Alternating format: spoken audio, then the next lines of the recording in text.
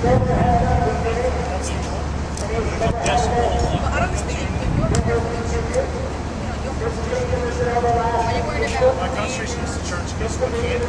guys are arguing with this cop over here about the loudness of the street preacher.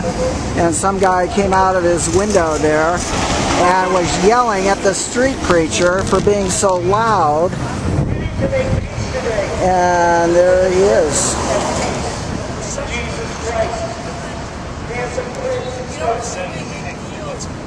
Right out in front of the new LDS temple. So they're trying to get her to do something about the street preacher.